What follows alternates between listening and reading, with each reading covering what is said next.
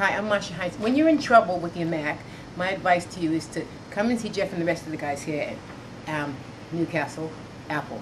Trust me, because I was in some serious trouble. I was didn't have a paddle or a boat.